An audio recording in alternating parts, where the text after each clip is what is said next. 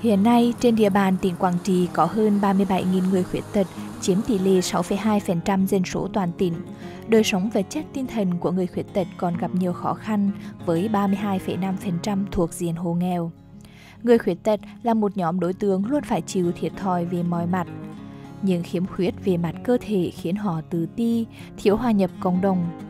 Đặc biệt, đối với người khuyết tật nặng, họ sinh hoạt ở môi trường hạn hẹp, giao tiếp ở mức tối thiểu với người xung quanh. Vì thế, họ lại càng có ít cơ hội tiếp cận, nắm bắt thông tin và chính sách của nhà nước liên quan đến người khuyết tật. Với nỗ lực trách nhiệm cộng đồng, để luật người khuyết tật được thực thi đầy đủ, nâng cao kiến thức cho người khuyết tật, giúp họ nhận biết trách nhiệm nghĩa vụ của bản thân cũng như các chế độ liên quan. Chương trình hỗ trợ nạn nhân và người khuyết tật thuộc dự án Renew với sự tài trợ của cơ quan viện trợ Ireland đã tổ chức các đợt truyền thông mang nội dung luật người khuyết tật đến với người khuyết tật tại cộng đồng. Từ năm 2017 đến tháng 9 năm 2019, có 2.878 người khuyết tật và cán bộ liên quan tham dự 81 buổi truyền thông luật người khuyết tật cho người khuyết tật và cán bộ chính sách. Trong đó có 1.282 người tham gia là phụ nữ. Hoạt động truyền thông luật người khuyết tật tại cộng đồng giúp người khuyết tật hiểu rõ hơn các chế độ chính sách của nhà nước với người khuyết tật.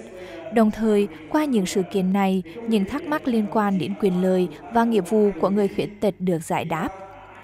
Đây cũng là cơ hội để người khuyết tật tham gia vào các hoạt động xã hội, giúp đời sống tinh thần của người khuyết tật ngày càng được cải thiện. Sự thay đổi về nhận thức, hành vi và lợi ích đem lại cho người khuyết tật là kết quả tích cực từ hoạt động truyền thông luật người khuyết tật cho người khuyết tật tại cộng đồng. Để đạt hiệu quả truyền thông luật người khuyết tật đến với người khuyết tật, dự án Renew tổ chức các đợt truyền thông trực tiếp ở các địa phương – đến những địa bàn vùng sâu vùng xa, nơi có người khuyết tật, yếu thế cần được hỗ trợ. Phương pháp truyền thông theo cách thức gần gũi, dễ hiểu.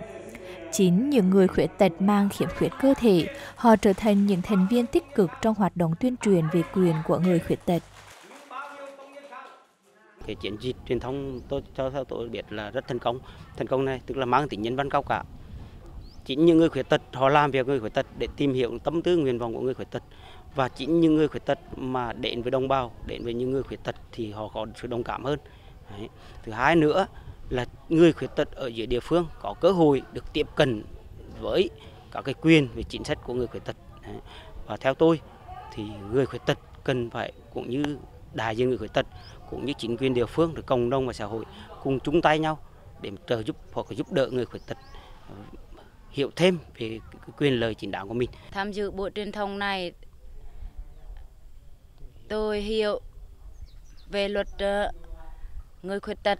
tôi sẽ truyền lại cho người khuyết tật khác vì không được tham dự buổi truyền thông này.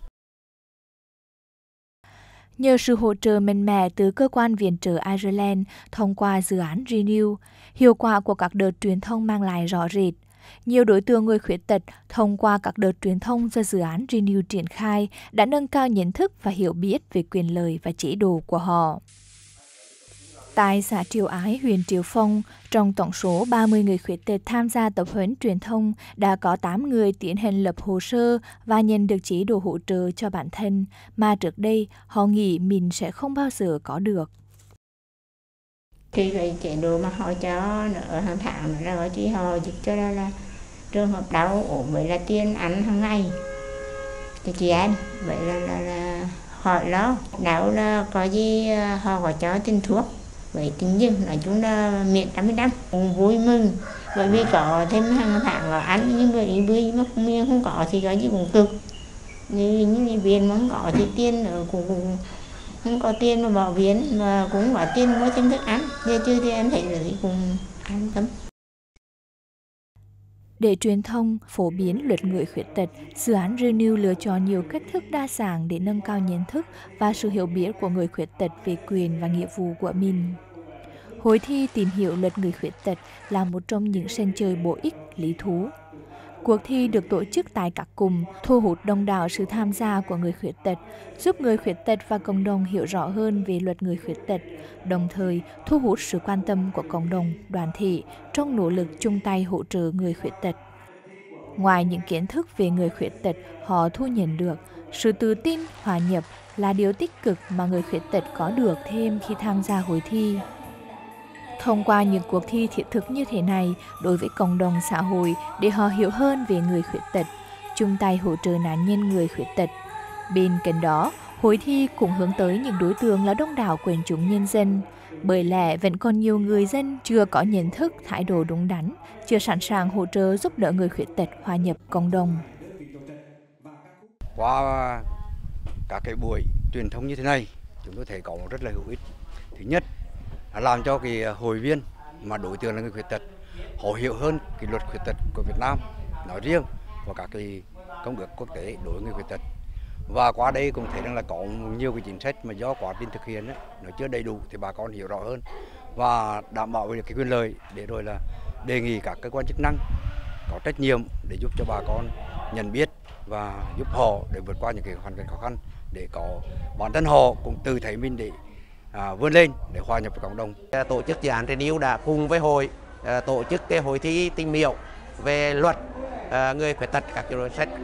kết hợp với văn nghệ thì phải nói đây là một cái hoạt động mà chúng tôi cho rằng là rất là hiệu quả à, thu hút đông đảo lực lượng không những chỉ có người khuyết tật mà cả các đối tượng là lãnh đạo chính quyền các cấp các cấp ủy đảng cái sự quan tâm lãnh đạo của Ờ, cơ sở đấy là cũng là hỗ trợ cùng với người khuyết tật thông qua hội thi. Cái ờ, dự án không chỉ đến với người khuyết tật mà còn đến với cộng đồng xã hội địa phương cho nên chúng tôi đánh giá rất là cao về cái hoạt động ờ, truyền thông. Hiện nay, hệ thống pháp luật về người khuyết tật ở Việt Nam ngày càng được hoàn thiện, cơ bản đã thể chế hóa được các chủ trương chính sách của Đảng và Nhà nước đối với người khuyết tật và có sự tương đồng với công ước quốc tế về luật quyền của người khuyết tật. Năm 2010, Quốc hội khóa 12 đã thông qua luật người khuyết tật thay thế pháp lệnh về người tàn tật năm 1998. Trên cơ sở giá trị pháp lý đã có, Điều quan trọng đặt ra là làm cách nào để người khuyết tật tiếp cận và thụ hưởng. Đối với người khuyết tật, họ có khát vọng sống, khát khao vươn lên, việc đem đến cho họ niềm động viên, sự tự tin để hòa nhập và phát triển là điều cần thiết.